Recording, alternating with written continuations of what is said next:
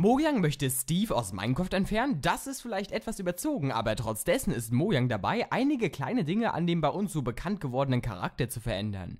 So plant das Minecraft Entwicklerstudio, die bisher 4 Pixel breiten Arme des Charakters auf nur noch 3 Pixel einzukürzen. Der Grund dafür? Minecraft soll proportionaler werden und dafür sind die bisherigen Arme einfach zu breit. Erste Reaktionen auf den Tweet von Jeppe, dem aktuellen Hauptentwickler Minecrafts, zur Änderung der Charaktergröße fallen jedoch positiv aus. Doch was denkt ihr über die Anpassung? Notwendig oder möchte sich Muyang nur die Zeit vertreiben?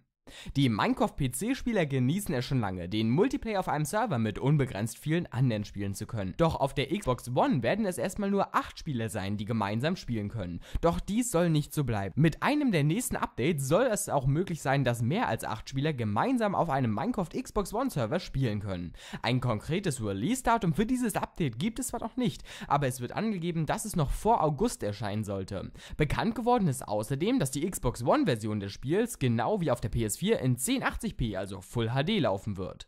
Genauso wichtig wie das Gameplay auf den Konsolen ist auch die Optik und diese wird nun durch ein neues Cartoon Texture Pack erweitert, welches auf der Xbox 360 ab sofort verfügbar ist und alles in einen Comic-Look taucht.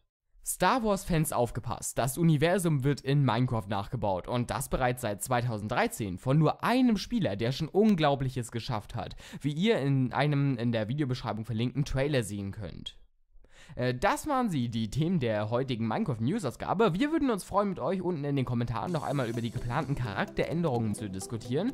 Ansonsten könnt ihr euch auch gerne unsere letzte Ausgabe der Minecraft News anschauen. Die ist rechts verlinkt und es geht da unter anderem um das Thema der Vergleiche von Mojang mit EA. Oder ihr seht euch den Snapshot der letzten Woche an, der ebenfalls interessante Änderungen zu Minecraft hinzufügte und auch zum baldigen 1.8 Release weiterhin neue Informationen lieferte. Jetzt bedanke ich mich aber fürs Zuschauen. Weitere Infos wie immer auf Twitter, Facebook, Facebook Instagram und natürlich unsere Website minus07.de. Jetzt aber tschüss und bis dahin.